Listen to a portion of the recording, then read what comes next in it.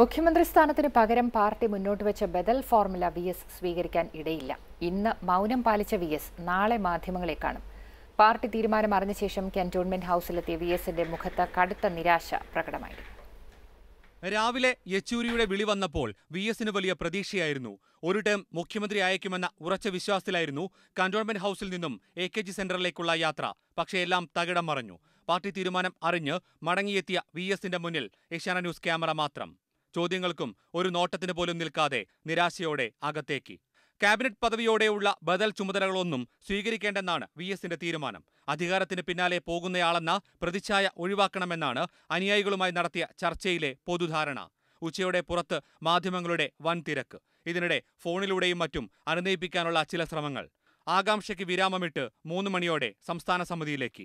യെച്ചൂരിക്കും കോടിയേരിക്കുമൊപ്പം വാർത്താ സമ്മേളനത്തിൽ ചിരിക്കുന്ന മുഖവുമായി വി എസ് യെച്ചൂരിയുടെ കാസ്ട്രോ വിളിയിലും ഊറിച്ചിരി മാത്രം. ചോദ്യങ്ങൾക്ക് മറുപടി പറയാതെ തിരിച്ചു വീട്ടിലേക്ക്.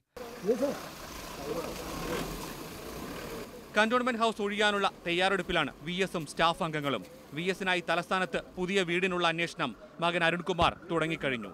എൽ ഡി എഫിനെ ജയിപ്പിച്ച വോട്ടർമാർക്ക് നന്ദി പറയാനാണ് നാളത്തെ വാർത്താ സമ്മേളനമെന്നാണ് വിശദീകരണം. പക്ഷേ മുഖ്യമന്ത്രി സ്ഥാനത്ത് നിന്നും ഒഴിവാക്കിയതിന്റെ ചോദ്യങ്ങൾക്കുള്ള മറുപടിക്കാണ് കേരളത്തിന്റെ കാത്തിരിപ്പ്.